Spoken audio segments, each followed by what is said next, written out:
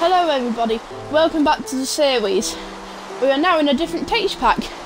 This is called the Plastic Texture Pack for Xbox One.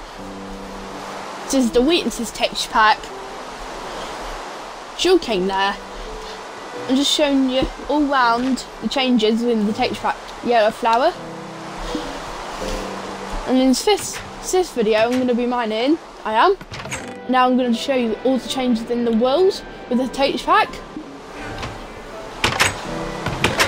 Iron looks amazing in this texture pack, I know, but we'll see that hopefully later. Now I'm literally only just built this about 10 minutes ago I have. This is my tree farm. It's only a little one, and that's like a little glitch. I was going to add in a fence gate, but that's easier it is. So now, I'm going to go mining. I am.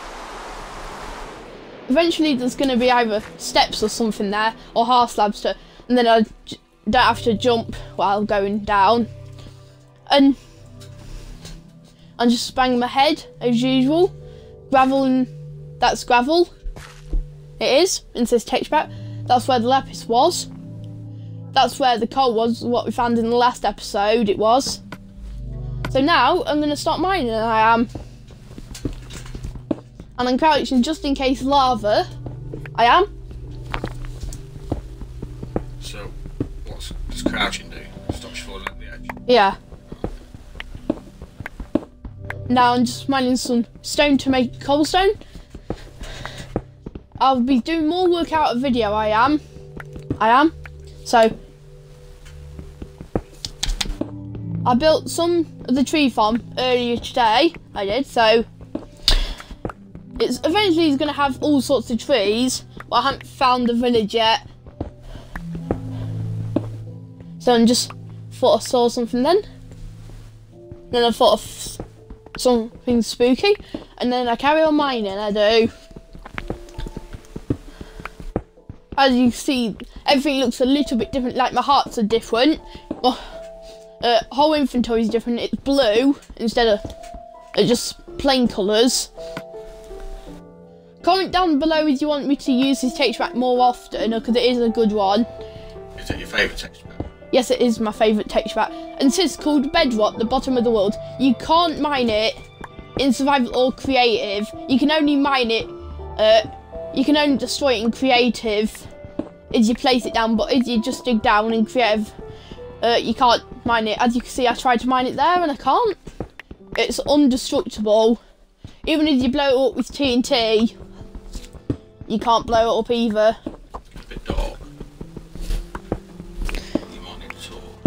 So now I'm placing down the torch am.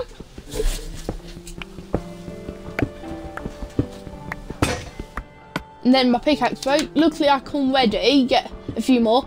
I bought an iron pickaxe just in case there's diamond, because you need an iron pickaxe. I actually made a mistake when I first found diamonds on survival. I mined it with a stone pickaxe. Didn't realise you needed an iron one. Yeah, you do need an iron one uh, for diamonds and emeralds. And now I've found some coal. Coal looks cool in this texture pack. And hopefully soon in a later episode we'll find some diamonds. And if we get 10 obsidian, we can go to the nether, we can. What's the nether? It's basically, uh, with like, if you hit a zombie pigman, what I'll show you in a later episode, they'll all come after you. But if you don't attack them, they won't attack you. There's nether quartz in the. Is it like a different dimension? Yeah, it's a different dimension. There's an end too, but I'll show that in a different world I will, in creative. So now I'm carry on mining. Like us, you saw, I found a bit of iron, I did. Only two pieces, so not so good, I didn't. Now I'll clean my hot bar.